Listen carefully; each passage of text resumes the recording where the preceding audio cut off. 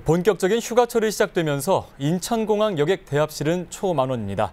그래서일까요? 휴가철 해외여행이 늘면서 관광 수지 적자 폭이 더욱 커지고 있습니다. 문인수 국민기자가 취재했습니다.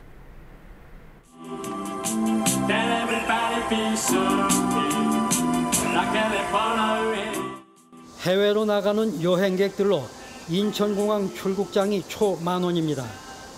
젊은이 못지않게 60, 70 세대의 고령층도 많습니다.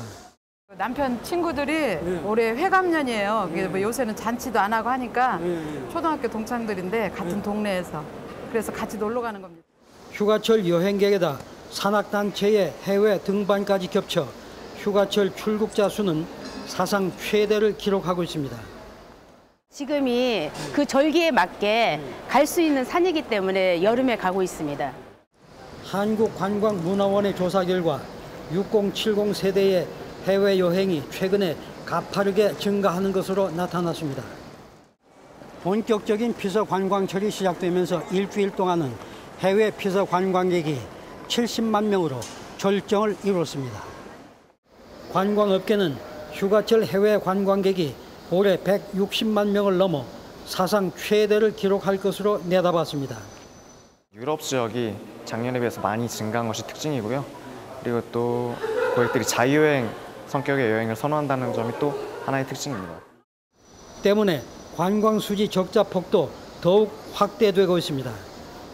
관계 당국은 올해 관광 수지 예상 적자는 45억 달러로 지난해에 비해서 11억 달러나 증가할 것으로 전망했습니다.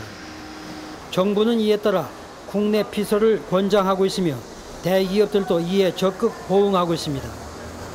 일부 기업들은 국내 관광 상품권을 제공하면서 국내 휴가를 적극 유도하고 있습니다.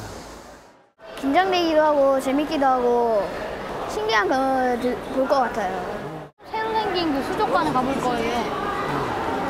그리고 돌고래 체험. 돌고래 체험도 할 거고.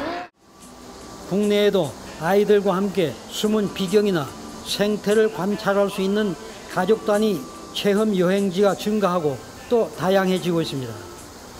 국내 휴가지 이용으로 내수도 살리고 관광 수지도 개선하는 두 마리 토끼 잡기 전략이 필요한 시점입니다. 국민 리포트 문인수입니다.